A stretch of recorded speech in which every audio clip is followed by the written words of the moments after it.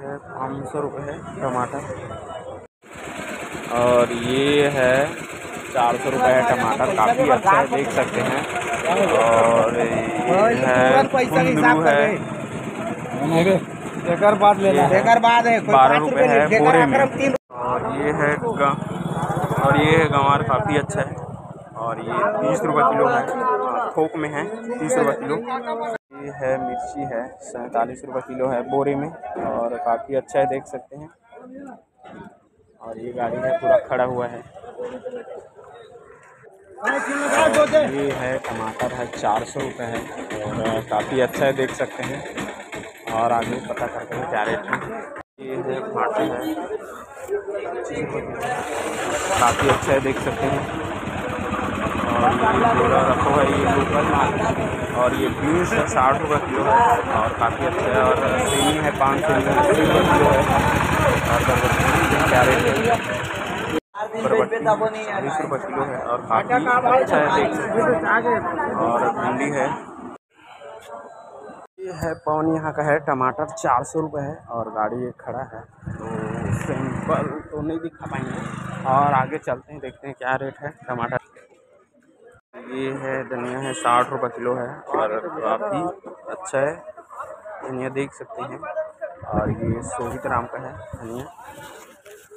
ये है साढ़े पाँच सौ रुपये है, गाजर बीस किलो का है वज़न। तो पच्चीस रुपये किलो है और आगे चलते हैं। गाड़ी ये खड़ा हुआ है। तो थोक देख सकते हैं। और आगे चलते हैं, देखते हैं क्या रेट है। हज़ार रुपये है कार्टून बीस किलो का है वज़न कार्टून सहित और अट्ठारह किलो निकलेगा माल। और ये है गाड़ी है, खड़ा हुआ है। तो आगे और देखते हैं क्या रेट ये है मंगा है, पच्चीस रुपये किलो है। और ये है माँ शारदा है। और ये है गाड़ी का पूरा छल्ली, देख सकते हैं।